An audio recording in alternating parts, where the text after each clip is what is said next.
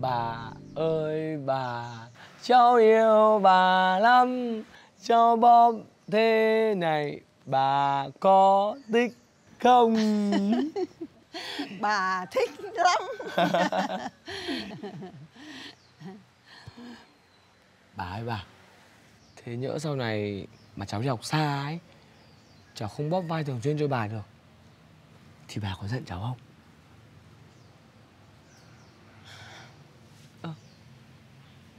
Ông kìa bà.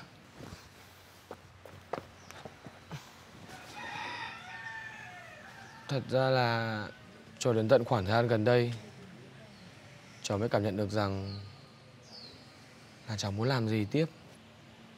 Cháu thấy rằng cháu vẫn có thể làm những điều có ích, Vẫn có thể cống hiến, Và vẫn có thể nối tiếp hành trình của ông nội. Bà Bà biết mà. Đối với cháu Bà Sự đồng ý của bà Quan trọng như thế nào mà bà Bà cho phép cháu Bà ủng hộ cháu bà nhá. Cháu trách bà cũng được cháu ghét bà cũng không sao. Nhưng việc này bà không thể ủng hộ cháu được. Mẹ,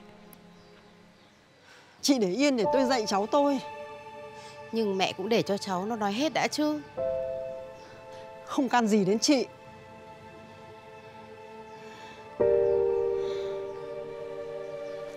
Ờ, Ok bà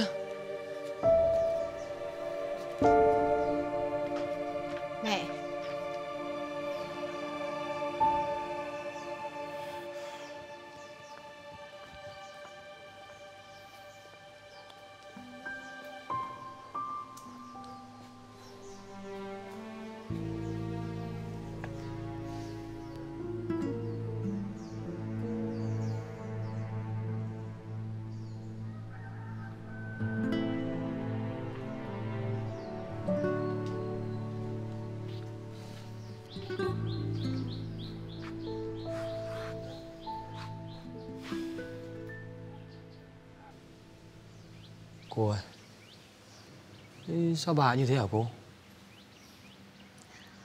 cả đời bà đã chờ đợi quá nhiều rồi. Nhưng rồi ông cháu, bố cháu không trở về. Cái quyền chờ đợi của bà có còn đâu. Nhưng còn anh Trung Việc Trung muốn đi biên phòng, bà cũng phản đối. Nhưng rồi bà phải đồng ý, bởi vì Trung nó kiên trì quá. Bây giờ, cháu lại muốn đi. Tuổi già ấy, mong muốn nó cũng khác.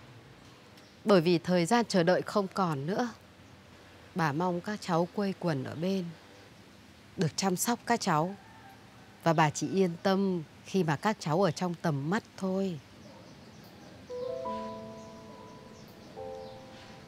Ừ.